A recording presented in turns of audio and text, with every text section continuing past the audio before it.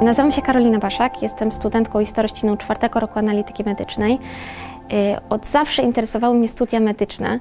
Y, Nie byłam pewna do końca na k- jakie i które chciałabym się wybrać i stwierdziłam, że diagnostyka laboratoryjna, analityka medyczna będzie tym, co mnie zadowoli najbardziej. Są to studia natury medycznej, e, po których e, dostajemy prawo wykonywania zawodu diagnosty laboratoryjnego. Są to ciekawe, ciężkie studia, wymagające, ale na pewno zadowalające i zapewniające spełnienie osobom, które lubią się uczyć. Po tych studiach można pracować w laboratorium, zarówno medycznym, jak i również innych laboratoriach e, i pełnić obowiązki diagnosty laboratoryjnego. Ja na pewno chciałabym e, pracować w laboratorium e, medycznym w swoim zawodzie, ponieważ uważam, że taka ilość zaangażowania przez te 5 lat będzie tylko i wyłącznie, że tak powiem, przeze mnie akceptowalna, jeżeli będę jednak pracować w zawodzie. Pewno już w perspektywie dłuższej chciałabym robić specjalizację, ponieważ mamy taką możliwość. Specjalizacje jest wiele do wyboru, dlatego każdy znajdzie coś dla siebie.